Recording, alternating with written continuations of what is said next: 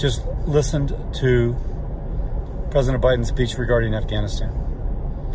It is clear that the exit strategy was poorly planned, poorly executed, and has exposed thousands of Americans and our allies to Taliban retribution. This is a pattern of incompetence, which includes record numbers of people coming across our U.S. Mexican border illegally, inflation in the economy, and now this.